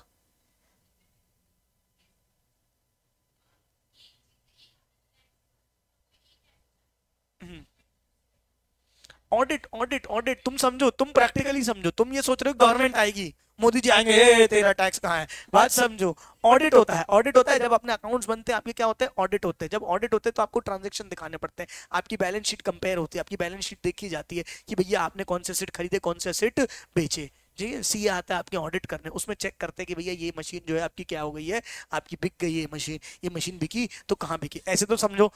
अगर तुम ऐसे सोचोगे तो सरकार इनकम टैक्स कहाँ से कलेक्ट करेगी? मैं प्रॉपर्टी बेचता हूँ, नगद ले लेता हूँ पैसे। ऐसे बहुत सारी चीज़ें हैं जो भी अपन को समझनी है। ये ऑडिट में जाके कहानी फंस जाती है। पहले मैं कोई पूरी पिक्चर कंप्लीट करना, अपन यहाँ वहाँ चलेगा यहाँ तक समझ में आया? सरकार ने क्या बोल दिया? डीम्ड सप्लाई सरकार ने क्या बोल दिया? डीम्ड सप्लाई अगर तुमने गिफ्ट किया है तो दूसरा एग्ज़ाम्पल अब ये मेरे दोस्त को आ गई लालच। ये बोलता, भाई, तूने ना थोड़े दिन पहले कार भी खरीदी थी। क्या खरीदी थी? कार। बिज़नेस के लिए। मैंने कहा हाँ यार बिज़नेस के लिए कार तो खरीदी थी। है ना? ओमनी वैन खरीदी, जिसमें बच्चों किडनैप करते थे हम लोग मतलब मतलब किडनैप नहीं, लाना ले जाने का काम करते थे। स्कूल है ना? जो वसूली का काम करते थे, ओमनी वैन खरीदी थी। अब ये ओमनी वैन अब साला इसका चका का खराब हो गया, चलती है नहीं, रखी हुई है। बोलता, दे दे मैं इसके चक्के के बनवा के, है ना, मैं अपना सर्विस अब काम बिज़नेस चालू कर लूँगा। मैंने कहा, ठीक है यार, ले जा। जे, कार ले गया। क्या ले गया? कार आगे चल के तुम पढ़ोगे आगे चल के तुम पढ़ोगे ये जो होता है ये ब्लॉक क्रेडिट होती है। ब्लॉक क्रेडिट का मतलब ये होता है कि इसमें आईटीसी लेने ही नहीं मिलता है। चाहे तुम रखो चाहे तुम बेचो। एक कॉन्सेप्ट आता है आगे चल के ब्लॉक क्रेडिट जिस जो ये बोलता है कि कुछ चीज़ों में हम आईटीसी लेने आपको नहीं देंगे। कुछ कमोडिटीज में हम आपको आईटीसी लेने नहीं देंगे। जिसमें से एक चीज़ क्या आती है? कार। क्या आती है? कार। कि आपने कार खरीदी तो वो क्या हो जाएगी? ए, मुँह फाड़ रही नालायक, ठीक है? वो क्या हो जाएगी? Block credit. वो कार क्या हो जाएगी? Block credit. पक्का? अब ये क्या हुई? Block credit. अब मैंने ये बेच दी। अब मैंने क्या बेच दी? बेच दी। बेची भी थी क्या? पैसे मिले कि फ्री में दी? अब सरकार मेरे पे सर पे चढ़ के आ रही है। ये सप्लाई सप्लाई सप्लाई मैंने कहा ये सरकार, फालतू नाटक नहीं करना। जब खरीदा था मैं जीएसटी दे चुका हूँ, क्या मेरे को आईटीसी लेने दिया? जब मैंने तुम्हारा आईटीसी लिया ही नहीं साला तो काय का तुम मेरे को बोल रहे हो ड्रीम सप्लाई मैं नहीं मानता कोई ड्रीम सप्लाई मैं नहीं भरता तुमको उसमें GST moral of the story क्या है? मॉरल ऑफ़ द स्टोरी क्या है? सुन रहे हो? मॉरल ऑफ़ द स्टोरी क्या है? अगर आपने कोई ऐसा असेट ट्रांसफ़र किया, अगर आपने कोई ऐसा असेट ट्रांसफ़र किया, जिसमें आप क्या कर चुके हो? क्रेडिट ले चुके हो। जिसमें आप क्या कर चुके हो? क्रेडिट ले चुके हो। तो फिर उसको अगर आप फ्री में ट्रांसफ़र कर रहे हो तो सरकार को दिक्कत है क्योंकि तुम उसका आईटीसी ले चुके हो और जीएसटी बचा रहे हो। तो सरकार ने बोला नहीं नहीं नहीं, नहीं क्या? डीम सप्लाई सरकार ने क्या बोला? डीम सप्लाई लेकिन अगर तुम ऐसा सिट ट्रांसफ़र कर रहे हो जिसका तुमने आईटीसी नहीं लिया है और तुम फ्री में कर पास कर रहे हो तो सरकार ने बोला जा आग लगा दे बेच दे कुछ भी कर दे मेरे को लेना देना नहीं है। विदाउट कंसिडरेशन है तो मैं उसको जीएसटी मैं उसको ड्रीम सप्लाई नहीं मानूँगा। अब दो मिनट अपन रीड करेंगे उसके बाद बात करेंगे। Permanent transfer disposal of business assets permanent transfer disposal of business asset where ITC has been availed on such assets when ITC has been availed on such assets typically donation of business और scrapping और disposal any other material manner without consideration would qualify as supply under this clause where ITC has been claimed on the same where ITC has been claimed on the same example जो मैंने आपको देखा वही दिया है in case of cars purchased by a company for use by its director would not qualify for ITC उसमें ITC नहीं मिलता है and such ITC would therefore not have been claimed. Say after a few years, the same car is transferred to such director on a free cost basis. In normal course, it is disposal of business asset. However, this would not be treated as supply for Schedule 1 as no ITC has been availed on such car. कितनों को समझ में आ गया moral of the story आपने business खरीदा asset खरीदा अरे आपने बिज़नेस सेट खरीदा और उसमें आईटीसी लिया कि नहीं लिया अगर आईटीसी लिया और फिर फ्री में ट्रांसफ़र किया। अगर फिर फ्री में ट्रांसफ़र किया तो ऊपर से आवाज़ आएगी, क्या है? सप्लाई है सप्लाई है सप्लाई है सप्लाई है। और अगर तुमने आईटीसी लिया ही नहीं, अगर तुमने आईटीसी लिया ही नहीं। अरे, सुन रहे हो क्या? अगर तुमने आईटीसी लिया ही नहीं तो फिर बोलेगी फ्री में ट्रांसफ़र किया। तो ऊपर से आ जाएगी सप्लाई नहीं है। आप जा सकते हैं। क्या बात समझ में आ रही है? आप दूसरे गेट से बाहर हो गए। अब आपको क्या है? सप्लाई की कंडीशन ही आपने फुलफिल नहीं हुई तो जीएसटी की कहानी तो आएगी नहीं। स्टेज टू से ही आप बाहर हो गए। कितनों को समझ में आई ये कहानी? हाथ उठाओ। क्रिस्टल क्लियर मैं इतनी बातें क्यों कर रहा हूँ? मैं चाहूँ तो सीधे सीधे बता सकता हूँ आईटीसी लिया तो नहीं लिया तो इतना ऐसे ऐसे लेकिन वो तुमको पूरा जीएसटी रटना पड़ेगा। मैं इतनी कहानी इसलिए बता रहा हूँ ताकि तुमको याद रह जाए लॉजिक की क्या होता था और क्या नहीं होता था। कल को तुम पे क्वेश्चन आए तो तुम सीधे बता पाओ हाँ भाई आईटीसी लिया है तो हम नहीं लिया है तो जीएसटी भरना पड़ेगा। सप्लाई मानेंगे आईटीसी नहीं लिया है तो सप्लाई नहीं मानेंगे। लॉजिक इज़ वेरी सिंपल कितों को समझ में आया पहला वाला पॉइंट ये हो गया। ठीक है अब सुनना। अगला समझा रहा हूँ। बोलो बोलो बोलो। दम है अभी? थके तो नहीं हो? आ जाओ सुनना ध्यान से। देखो बेटा, मेरी एक बीवी है। ठीक है? ठीक है? ठीक है चार्टर्ड अकाउंटेंट है। क्या बात में है? मैंने उसको बोला कि एक काम करे यार, हमारी खैर ऑडिट करने नहीं बोल सकता क्योंकि वो ऑडिट पे मना है। लेकिन ठीक है, मैंने बोला एक काम कर कि अकाउंट्स बना दे। हमारे कोचिंग के क्या बना दे? अकाउंट्स बना दे। या कुछ फाइनेंशियल कंसल्टेंसी दे दे। उसने बोला, ठीक है सर, ले लो। फाइनेंशियल कंसल्टेंसी उसने मेरे को दी। मैंने कहा, पैसा कितना होता है? बोलती, पागल है क्या? घर की बात है। तेरा बिज़नेस मेरा बिज़नेस क्या पैसे की बात है? कोई दिक्कत की बात नहीं है। मैंने कहा, ओह वेरी गुड कोई बात नहीं। ठीक है सी ए बी होने का फ़ायदा, कोई ज़रूरत नहीं है करने की। तो हमने बोला कि, ठीक है, कोई बात नहीं नहीं दिया कंसिडरेशन ऊपर से गवर्नमेंट देख रही थी। गवर्नमेंट बोली तुम मियाँ, तुम बीवी, तुम्हारा मियाँ, बीवी का आपस में कुछ भी चलता रहे, हमको लेना देना नहीं। कल को तुम्हारी बीवी बोलेगी, हमको सोने का हार, हीरे का हार दिलाओ। तुम बोलोगे, नहीं दिला रहे। उसने बोल देगी, याद करो, मैंने तुम्हारा क्या किया था? ये फाइनेंशियल कंसल्टेंसी दी थी। क्या मना कर पाओगे? नहीं, ये कहीं ना कहीं निकल जाएगा बेटा। सरकार जानती है ऐसे नहीं तो वैसे। ये कहीं कोई सरकार नहीं छोड़ने वाली। सरकार बोलती तुम लोग आपस में कल को पट्टी होके कुछ ना कुछ एडजस्टमेंट कर लोगे हमें लेना देना नहीं है। अगर एक रिश्तेदार ने दूसरे रिश्तेदार को कुछ भी ऐसी चीज़ ट्रांसफ़र करी है तो हमको हम, हम उसको क्या मान लेंगे? सप्लाई मान लेंगे हम उसको क्या मान लेंगे? सप्लाई अभी इसमें बहुत लंबी कहानी है सुनना ध्यान से। ठीक है क्या? सप्लाई ऑफ़ गुड्स और service both between related person between related person और बिटवीन डिस्टिंक्ट पर्सन अभी डिस्टिंक्ट पर्सन की डेफिनेशन में आपको बताऊँगा। When made in course or furtherance of business. याद रखना, when made in course or furtherance of business. तभी डीम सप्लाई माना जाएगा। ऑब्वियसली बात है ना भैया? मेरी बीवी मेरे को पराठा बना के लाके दे रही है और मैं बोल रहा हूँ, सप्लाई, सरकार बोलेगी डीम सप्लाई डीम सप्लाई. उसका वो बिज़नेस है ना भैया? वो चार्टेड अकाउंटेंट प्रैक्टिस करती है। वो उसका बिज़नेस है कि उसने मुझे कोई फाइनेंशियल कंसल्टेंसी दी है और मैं उसको अपने बिज़नेस में यूज़ कर रहा हूँ। इन कोर्स और फर्दरेंस ऑफ़ बिज़नेस क्या बात समझ में ऐसा थोड़ी कि दो पराठे ले आना तो उसमें जीएसटी लग जाएगा डीम सप्लाई डीम सप्लाई ठीक है? रिलेटिव को दिया है ना? फिर ठीक है विदाउट कंसिडरेशन ऐसा नहीं होता। क्या बात समझ में आ रही है? तो वही बोला सप्लाई ऑफ़ गुड्स और services between related person between distinct person section twenty five when made in course of furtherance of business मैं आपके ध्यान में एक बात डालना चाहूँगा आपको बहुत ध्यान देना पड़ेगा कहाँ course of furtherance of business है कहाँ course of furtherance of business नहीं है। अभी तो हँसी ठिठोली में बड़ा मज़ा आ रहा है। जब क्वेश्चन आता है पूरी केस स्टडी बन के कि बताओ कौन सी चीज़ सप्लाई है कौन सी चीज़ सप्लाई नहीं है तो वहाँ पे हम झूम, बराबर झूम शराबी हो जाते हैं, क्योंकि ये सारी बातें ध्यान नहीं रखते हैं। लॉजिक पकड़ के चलोगे तो कभी नहीं भूलोगे। यहाँ तक सबको समझ में आया? आप देखो क्या बोला? ये course of furtherance of business को हाईलाइट कर लेना, ठीक है? यहाँ तक क्लियर है? अच्छा एक होता है डिस्टिंक्ट पर्सन डिस्टिंक्ट पर्सन क्या होता है, समझ रहे हो? अभी समझाया कहा है? कैसे समझोगे? आओ, मैं समझाता हूँ। मेरा क्या है? मान के चलो, एक बिज़नेस है। जैसे मान के चलो, कोई भी एक, कोई भी एक दुकान बताओ यहाँ पे जबलपुर शहर में, जिसकी बहुत सारी ब्रांचेस हो, कोई भी एक चीज़ बता दो। अबे जबलपुर की बताना भाई। हीरा स्वीट्स, चलो, अपन ने क्या लिया एग्ज़ाम्पल हीरा स्वीट्स का। हीरा स्वीट्स का हमने एग्ज़ाम्पल लिया। एक हीरा स्वीट है दूसरी हीरा स्वीट है। क्या बात समझ में आ रही है? ये वाली हीरा स्वीट भी केक बेचती है, ये वाली हीरा स्वीट भी क्या बेचती है? केक बेचती है। यहाँ पे केक क्या हो गया? खत्म हो गया। इसने यहाँ से केक यहाँ पे ट्रांसफ़र किए और यहाँ पे केक क्या करने लगे? बेचने लगे। बताओ, क्या इसको ड्रीम सप्लाई माना जाना चाहिए कि नहीं माना जाना चाहिए? बताओ, इसको ड्रीम सप्लाई माना जाएगा कि नहीं? हीरा स्वीट्स कॉमन सेंस लगाना प्रैक्टिकल देखो मैं बता रहा हूँ तुम लॉ मत पढ़ो तुम एक दुकानदार समझ के तुम तुम एक बिजनेसमैन समझ के सोचो। मेरी हीरा स्वीट्स है एक हीरा स्वीट्स यहाँ है एक हीरा स्वीट्स मालवीय चौक में है। ही मालवीय चौक से फ़ोन आया भैया केक खत्म हो गए बेच दो। हमने कटी के बेचते हैं। हमने यहाँ से केक उठाया वहाँ बेच दिए वहाँ वो बेच रहे हैं उसको। बताओ जो मैंने यहाँ से हीरा को बेचा है क्या उसको सप्लाई माना जाएगा कि नहीं माना जाएगा? माना जाएगा कि नहीं माना जाएगा? कितने लोग बोल रहे हैं माना जाएगा? आप कॉमन सेंस से सोचो। क्या माना जाएगा? अगर मान के चलो तुम्हारी दो ब्रांचेस हैं। एक ही बिज़नेस की दो ब्रांचेस है। एक ग्वारी घाट में एक यहाँ पे। ग्वारी घाट में माल खत्म हो गया। आपने यहाँ से माल ग्वारी घाट अपनी एक दुकान से दूसरी दुकान में बेचा और सरकार क्या बोल रही है? डीम सप्लाई जीएसटी भरो। अरे लोग खोलेंगे नहीं ब्रांच बोले पागल हो क्या? एक दुकान से दूसरी दुकान में तुम सप्लाई लगा रहे हो। नहीं माना जाएगा। सप्लाई नहीं है।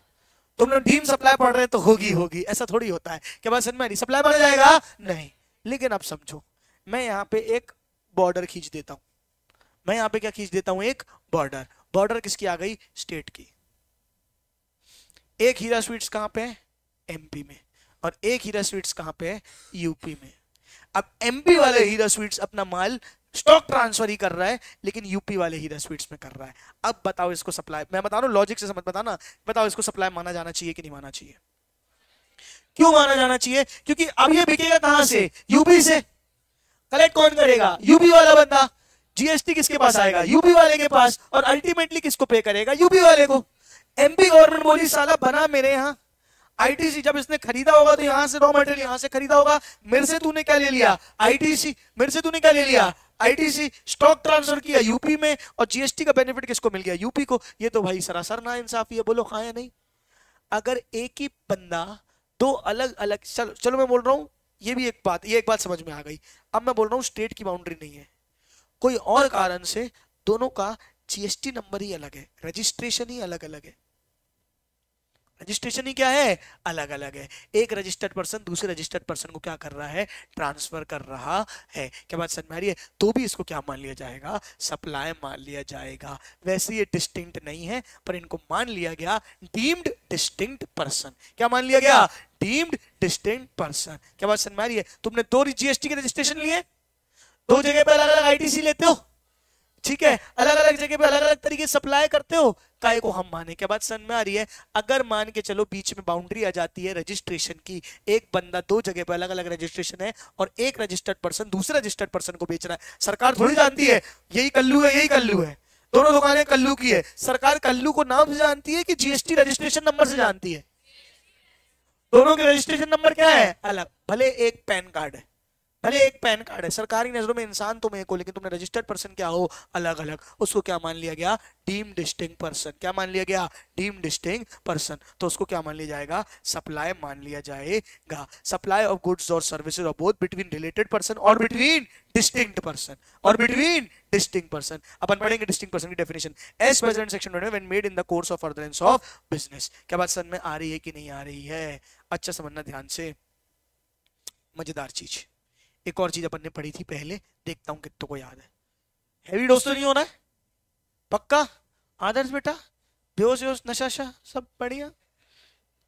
मंगाए कुछ चकना करना थोड़ा सा ज़िंदगी में देखो पानी कैसा, सादा चाहिए मिक्सचर चाहिए, बता दू क्या चाहिए? तू बोल बस। ब्लैक वाटर चाहिए, साले। ब्लैक वाटर चाहिए इसको। रुक जा बेटा। उतनी तो है। अच्छा एक ग्रुप की, तब फिर ठीक है। चलो चलो, आ जाओ आ जाओ आ जाओ आ जाओ। यहाँ देखो पहले, ठीक है? आगे बोलूँ मैं? खराब से जोक आया था, मैं रोक लिया अपने आप को। ठीक है, मैंने कहा, नहीं, ऐसे नहीं, ऐसे यूट्यूब में नहीं जाना चाहिए ऐसी बातें, ठीक है? आ जाओ। अरे, सुन लो सुन लो सुन लो, क्या बता रहा था? भुला दिया, अरे। क्या पढ़ रहे थे अपन? हाँ भूल गया, फिर से भूल गया, याद नहीं आया। ठीक है डीम डिस्टिंग पर्सन बताया ना मैंने? हाँ हाँ याद आ गया, आज समझो। एम्प्लॉयर है। कौन है? एम्प्लॉयर और कौन है? एम्प्लॉय एम्प्लॉयर और कौन है? एम्प्लॉय एम्प्लॉय ने एम्प्लॉयर को सर्विस दी है और बदले में पैसे लिए हैं। बताओ क्या ये सप्लाई माना जाएगा कि नहीं माना जाएगा? ये हमने स्पेसिफिकली एक्सक्लूड किया था, याद है क्या? हमने पढ़ा था एम्प्लॉयर एम्प्लॉय को क्या दे रहा है? सर्विस दे रहा है। तो उसको आपस में क्या माना जाएगा? सप्लाई नहीं माना जाएगा। नहीं तो सैलरी में जीएसटी पेल दो। पहले उस पर इनकम टैक्स लगा रहे हो और जीएसटी पेल दो। एम्प्लॉयर तो होते ही नलायक है। वो पूरा पैसा तो एम्प्लॉय से ही पे लेंगे तो भाड़ा एम्प्लॉय पिस्ता चला जाएगा। इसलिए इसको क्या माना गया? सप्लाई ही नहीं मान यहाँ तक कहानी तो अपन को क्लियर है पहले से। हो मेरे साथ, अब समझना। अब क्या हुआ? बोनस आया। क्या आया? Bonus Diwali bonus Diwali bonus employee employer ने दिया एम्प्लॉय को। क्या बात समझ में आ रही है? तो बताओ, क्या ये सप्लाई माना जाएगा? नहीं, क्योंकि ये क्या है? सैलरी का हिस्सा है। एक तरीके जो सर्विस दी थी बदले में क्या दिया? बोनस ठीक है अच्छा एम्प्लॉयर ने एम्प्लॉय को फ्री में गाड़ी दे दी। कार दे दी। कार दे दी। बोले, ये लो कार लो एकदम ले जाओ, चलाओ, ऐश करो। क्या बात समझ में आ रही है? तो क्या ये माना जाएगा? हाँ? नहीं नहीं बोली जाओ ये रो कार रखो तुम कार रखो तुम ऐसी मिल जाती ऐसे थोड़ी बोले कि तुम यहाँ मत लेके जाना वहाँ लेके जाना। ऐसे देते कार ये लो आने जाने के लिए तुमको कार दी। अब बताओ ये क्या होगा? सप्लाई मानी जाएगी? अच्छा ये अगर इसका एम्प्लॉय नहीं होता तो क्या इसको कार मिलती? एम्प्लॉयर एम्प्लॉय रिलेशनशिप के कारण नहीं मिल रही है ना? तो ये सब भी सप्लाई नहीं माना समझना ध्यान से। अब दिवाली में एक एम्प्लॉयर ने सबको गिफ्ट बांटे। क्या बांटे? गिफ्ट सबको क्या बांटे? गिफ्ट तो क्या इसको सप्लाई माना जाएगा? आप सुनना ध्यान से बात को। जितनी बातें आपके एम्प्लॉयमेंट कॉन्ट्रैक्ट में पहले से लिखी हुई हैं जितनी बातें आपके पहले से क्या है। एम्प्लॉयर कॉन्ट्रैक्ट में लिखी हुई है। जब आपको एम्प्लॉय रखते हैं तब बोलते हैं कि आपको इतनी सैलरी देंगे आपको ग्रेचुटी मिलेगा आपको बोनस मिलेगा आपको जे मिलेगा आपको रहने को घर मिलेगा गाड़ी मिलेगी। ये सब आपके एम्प्लॉय कॉन्ट्रैक्ट में है तो ये सबको सप्लाई नहीं माना।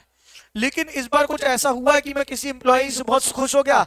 मैंने कहा जा यार तू भी क्या याद रखेगा? कॉन्ट्रैक्ट में हो चाहे ना हो ये ले घर रख ले एक क्या बात समझ में आ रही है? या कोई भी गिफ्ट बांट दिया सबको तो उसको सप्लाई मान लिया जाएगा। अभी दो मिनट रुकना ध्यान से। यहाँ तक समझ में आया? ये प्रोविज़न डाला दिवाली आई। दिवाली में एम्प्लॉयर को लगा यार हमें अपने एम्प्लॉय के लिए कुछ करना चाहिए। उसने सबको क्या की? वो कांच की छोटी छोटी कटोरियाँ बांटी। वो जो कटोरिया बाउल सेट होता है उन सारे एम्प्लॉयज़ को क्या कर दिया? बांट दिया। और बोले, लाओ, इसको हमको सरकार ने क्या बोल रही इसको डीन सप्लाई क्या बोल रही है? डीन सप्लाई जीएसटी भरो। कितना गंदा लगे ना, सरकार कटोरियों में जीएसटी ले गई, वो भी जो एम्प्लॉयर को एम्प्लॉय में गिफ्ट में दिया है। शर्म नहीं आई सरकार को? कह क्या कर रही सरकार? तो फिर सरकार ने बोला, अगर एम्प्लॉयर ने एम्प्लॉय को गिफ्ट दिया, अगर एम्प्लॉयर ने एम्प्लॉय को गिफ्ट दिया, एक मिनट रुकना not exceeding fifty thousand rupees in value by an employer to an employee shall not be treated as supply of goods or services or both. अगर पचास हज़ार से ऊपर गिफ्ट दे दिया ऐसे सोने होने की चेन दे दी ऐसे कार आर दे दी कलर दे दिया तो सरकार बोलेगी ज़्यादा रही से दिखा रहा है डीप सप्लाई जीएसटी लगाओ। क्या बात रही है? लेकिन अगर मानकर बेचारा कटोरी चम्मच बांट रहा है है ना टॉफी वॉफी बांट रहा है। है ना इन सबको प्लीज़ समोसे समोसे बांट रहा है कोई भी गिफ्ट दे रहा है पचास हज़ार से अंदर का तो उसको सप्लाई नहीं मानना क्या बात समझ में आ रही है? मॉरल ऑफ़ द स्टोरी अगर क्या है डिस्टिंक्ट पर्सन ने या रिलेटिव ने क्या किया है किसी को? कुछ भी गुड्स और सर्विसेज़ दिए हैं तो उसको क्या माना जाएगा? सप्लाई एम्प्लॉयर एम्प्लॉय भी एक तरीके से रिलेटेड पर्सन ही होते हैं, लेकिन अगर वो गिफ्ट जो है विदाउट कंसिडरेशन है, लेकिन पचास हज़ार से कम का है तो उसको सप्लाई नहीं मानेंगे। पचास हज़ार से ज़्यादा का है तो उसको सप्लाई मानेंगे। क्या बात समझ में आ रही है? इनकम टैक्स में भी आएगा, पढ़ेंगे पर इनकम टैक्स में भी उसमें। ठीक है, कोई भी गिफ्ट मिलता है पचास हज़ार की लिमिट इनकम टैक्स में भी सेम आती है, पढ़ेंगे उसको अपन। यहाँ तक समझ में आ गया सबको? अब एक बार distinct person has been defined section two mean a person who has obtain or is required to obtain more than one registration whether in one state or union territory or more than one state or union territory shall respect of each such registration be treated as distinct person for the purpose of to for the purpose of this act मतलब अगर दो registration है अगर दो क्या है? Registration है। भले दोनों के सेम क्या हो? पैन हो। भले दोनों के सेम क्या हो? पैन हो। उनको क्या माना जाता है? डिस्टिंक्ट पर्सन माना जाता है। क्या माना जाता है? डिस्टिंक्ट पर्सन माना जाता है और आपस में अगर गुड्स से सर्विस ट्रांसफ़र कर रहे हैं तो उसको ड्रीम सप्लाई मान लिया जाता है। क्या बात समझ रही है? रिलेटेड पर्सन कौन होंगे? एक बार मैं चाहूँगा, दो मिनट का समय देके, अब ये आठ पॉइंट अभी के अभी इसी वक्त पढ़ेंगे।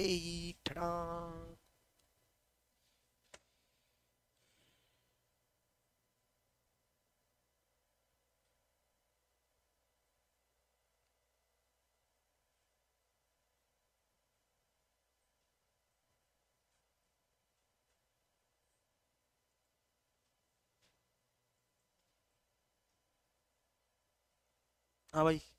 थक जाओ तो बता देना। है। सर थक से तो गए हैं है ना? थक से तो गए हैं थोड़ा सा तो थक से गए हैं। दो मिनट बस दो मिनट वाइंड अप कर रहे हैं सुनो सुनो सुनो। अरे सुनो यार। साधारण सी बातें बची। थकाने वाली बातें खत्म हो गई। यहाँ सुनो आओ देखो जीवन में। प्रिंसिपल ने जोमेटो नहीं आया। अरे यार अरे यार लगता है उसने वहाँ से ऑर्डर कैंसिल कर दिया है जोमेटो मुझे लगता है कुछ करना पड़ेगा अपन कुछ तो। यार, खाना नहीं भिजवाया यार क्या तरीका है यार? इसका ऑर्डर किया मैंने, रुक जाओ अभी तो इतना बताता हूँ इन लोग को, रुको बेटा, छोड़ूँगा नहीं मैं। चलो। अभी हम जब तक पढ़ते बेटा टाइम वेस्ट नहीं करते, ठीक है? प्रिंसिपल ने एजेंट को कोई गुड सप्लाई किए। एजेंट ने प्रिंसिपल को कोई गुड सप्लाई याद है, अपन ने पढ़ा था ये यहाँ पे? याद है क्या? ये हमने पढ़ा था। एक पढ़ा था, दो पढ़ लिए थे, दो पढ़ाने बच्चे थे, बोला था। एक था रिलेटेड पार्टी और एक क्या था? प्रिंसिपल और एजेंट अच्छा जोमेटो से ये लग रहा। हेलो जोमेटो नहीं सॉरी रॉन्ग नंबर ठीक है? चलो आओ। ठीक है? सुनो ध्यान से। क्या था? प्रिंसिपल ने एजेंट को बेचा?